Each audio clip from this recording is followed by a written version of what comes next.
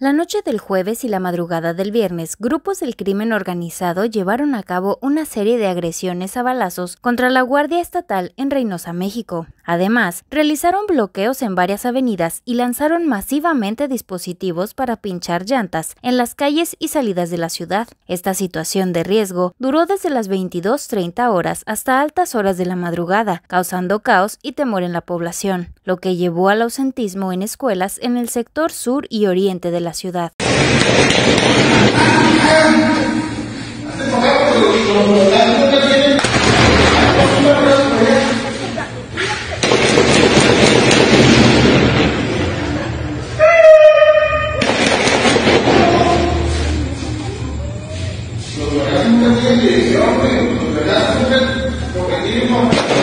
Se cree que esta reacción violenta de la banda de los metros fue provocada por el abatimiento de uno de sus pistoleros en el ejido El Guerreño, ocurrido más temprano en el día. La violencia escaló cuando los pistoleros intentaron ejecutar a policías estatales en el ejido Palo Blanco. Sin embargo, los agentes repelieron el ataque y comenzaron una persecución que resultó en la muerte de uno de los pistoleros y la incautación de un vehículo, mientras que otros tres agresores lograron huir. Por la noche se reportaron agresiones de pistoleros contra patrullas de la Guardia Estatal en varias ubicaciones, siendo el ataque más fuerte en el ejido Periquitos. Los sicarios, utilizando vehículos blindados conocidos como monstruos, bloquearon carreteras y calles con tractocamiones y vehículos de carga robados. Estos bloqueos y lanzamientos de dispositivos para pinchar llantas causaron el cierre de varias vías de acceso a la ciudad y dejaron a muchos conductores varados. La tensión persiste en la zona y las autoridades no han proporcionado información sobre el saldo de los enfrentamientos. Testigos informaron que algunos vehículos de los grupos armados tenían letras M12 y M21 pintadas, en referencia a líderes de bandas criminales en la región.